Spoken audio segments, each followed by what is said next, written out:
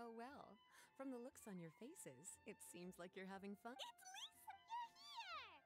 We loved playing. Thanks for playing. Oh, no, wait. Aw, thank you for being so considerate. But if it helps keep you happy while you stay inside the city, of course I understand. Anyway, I. A gift? Actually, I have a gift for Mr. We'll get to the gifts in a moment. Let me tell you the news first. That's right. The Knights have also determined the cause of their invasion. The species were. Luckily, they didn't cause too much trouble. Is it time for. Of course, Klee's been returned. when I was home at night, I looked through Albedo's crafting book and learned to. Da, da, da.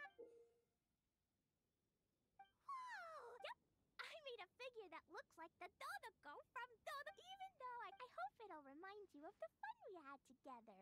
And blast A big dump with this. It'll feel like we're adventuring with Clee and.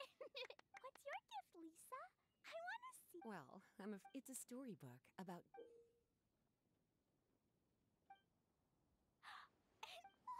The little cuties were together. They d- a most fitting. Did you plan out the whole? No, as I've left a blank spot. I just thought of an even better idea. Since we're all here on this special occasion, Sure. We got to see our friends and play games together. That's Come on then, Mr. Honorary Knight and Paimon. Ready, Lisa?